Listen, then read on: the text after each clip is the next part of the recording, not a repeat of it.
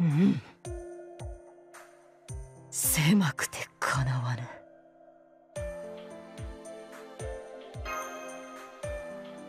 狭苦しいにも程があろう窮屈に過ぎる。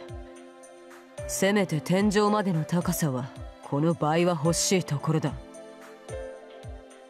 この私を召喚した契約者であるというならばそれくらいは何とかしてみせろ。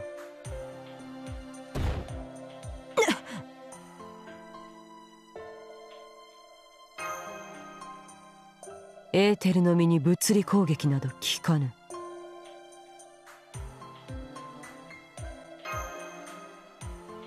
黙れ。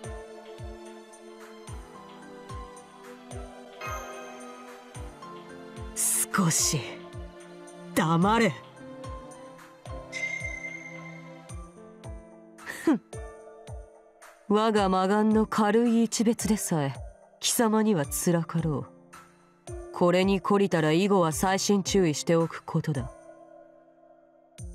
いかによりしろとはいえ出過ぎた真似はやめろ。次は金縛り程度では済まさぬ。全身を石に変える。ふん。うん。口も聞けぬか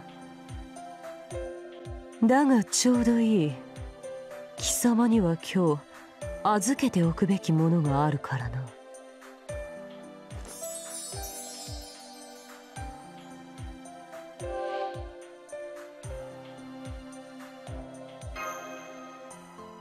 私から愚かで賠償な契約者への贈り物。などではないぞ。思い違いをするなよ。これはあくまで姉上たちへの私からの贈り物だ。だが私はこの姿。美しき姉上たちの前に出るには歪み果てすぎている。私は姉上たちを怯えさせたくはない。私たちが迎えてしまった最後を思い返させたくもない。故に契約者貴様に託す。これを間違いなく姉上たちに届けるように。そして叶うならばこの姿ならざる形で限界した私にも大きな方でも小さな方でも構わない。ああもしも両方に出会えたならばどちらにもだ。いいか？よく覚えておけ。誰からの贈り物であるのかは決して口にするな。貴様からの贈り物なのだと言っておけ。いいな？